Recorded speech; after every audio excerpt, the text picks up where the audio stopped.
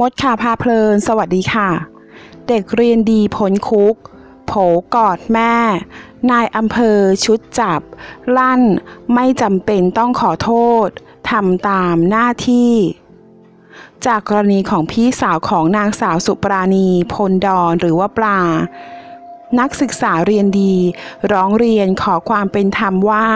เมื่อวันที่ 19 มิถุนายน 62 เวลา 15นาฬิกา36 นาที น้องสาวถูกเจ้าหน้าที่ฝ่ายปกครองของอำเภอสุวรรณภูมิ จังหวัดร้อยเอ็ดจับกลุ่มขณะเข้าตรวจกล่องพัสดุที่เพิ่งจะส่งมาถึงบ้านได้เพียง2นาที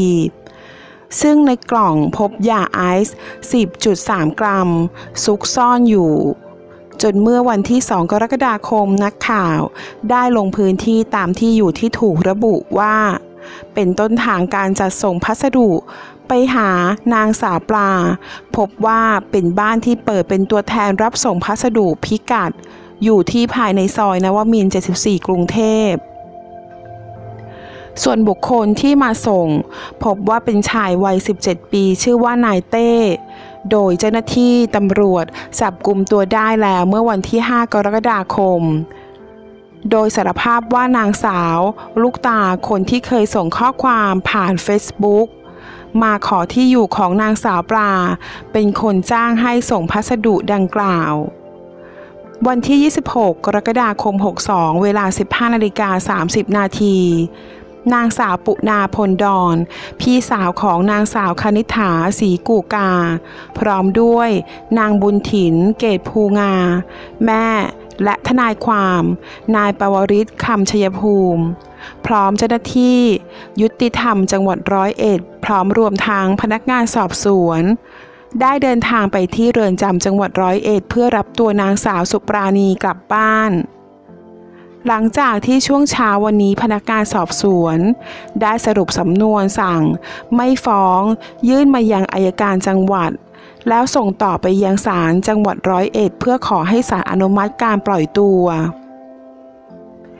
โดยเจ้าหน้าที่ตำรวจและทนายได้ให้ปากคำเพิ่มเติมว่าจากการสอบสวนพยานแวดล้อม ทุกด้าน รวมทั้งสอบพยานหลักฐานเอกสาร และตรวจสอบ ทั้งโทรศัพท์และหลักฐานอื่น ๆ ยืนยันได้ว่าผู้ต้องหาไม่ได้มีส่วนเกี่ยวข้องกับคดีทุกด้าน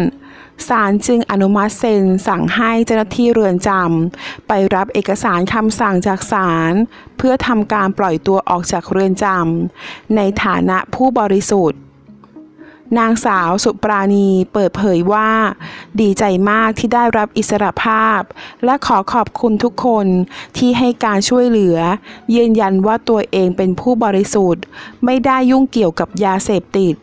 โดยเหตุการณ์ครั้งนี้จะเป็นบทเรียนสำหรับตนเองเป็นอย่างมาก ว่าจะไม่ไว้ใจ ส่งที่อยู่ของตัวเองให้กับใครอีก